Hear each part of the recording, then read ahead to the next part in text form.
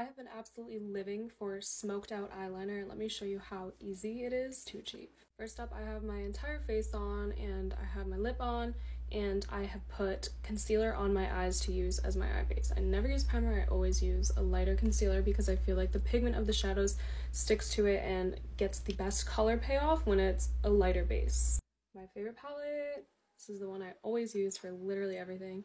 I'm gonna go in with this color right here and just go in my crease to start our eye. So I'm just gonna drag this out, create a little bit of depth. But I'm not gonna go super crazy on the actual eyeshadow on my eye because I want the focus to really be our smoked out wing. I am going to stamp this light color into the center of my eye and then I'm also going to highlight under my brow bone with the same color want this to be nice and bright. Okay, now that we have our full eye base down, I'm going to go in with a black waterproof eyeliner inside my waterline. And then what I'm going to do is pretty much just keep dragging and extend the corner of my eye and follow the natural shape of my eye. So I'm not going to bring it too far upwards. It's going to go more outwards just gonna follow the shape of my eye and this is this can be as messy as you want because we're gonna smoke it out and I'm gonna just apply a little bit right here too.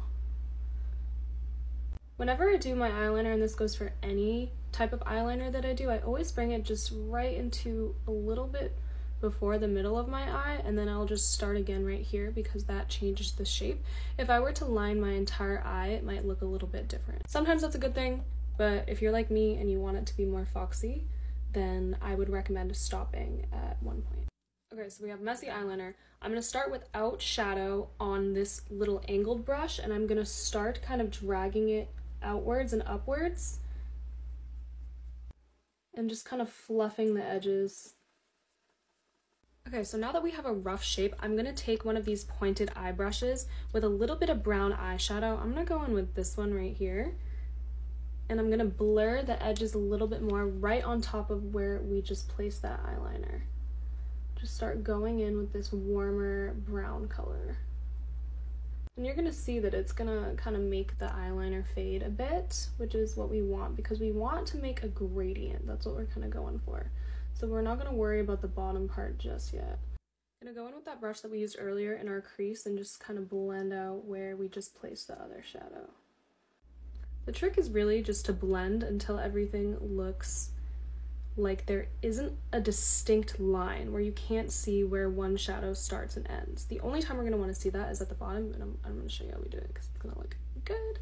I'm to do one more round of eyeliner just so we can get a little bit more darkness. And we're to blend one more time.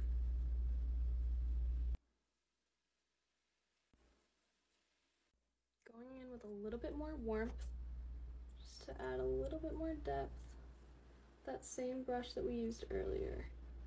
To match the top of the eye, we want to go in with that warm color on our bottom lid as well, just to bridge those two together and we can make it look nice and smooth. Okay, so here's the thing. We could stop here. We have a really nice smoked out liner, but what I think makes a smoked liner look fabulous is adding a tiny line of black liquid eyeliner and then going over it a little bit more with some black shadow.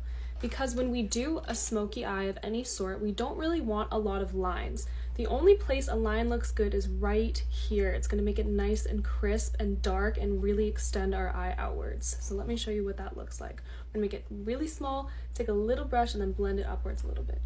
Okay, so I have my little eyeliner right here and I'm following the line we already created kind of wisp it out. Don't want it to be too much. We are going to still blend it a little bit, but I like to put it right in the corner. Just follow the line that we made with the shadow. Look at that depth already, and we haven't blended it yet. Do the other side. Oh, like see, look at how crisp that looks. Yet still soft and smoky. Okay, let's also put a little inner corner moment because we can't do without that.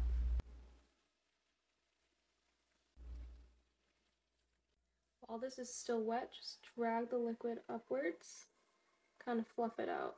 So you really have the different shades of black. Like, look at that. Let's do a little bit of mascara and a lash just for the full effect.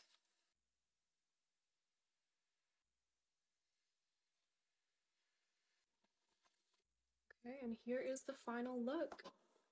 Smoked outliner, so easy. Let me know if you end up trying out this technique with the liquid eyeliner trick. I think it makes it look very precise, perfected, and so sultry and hot.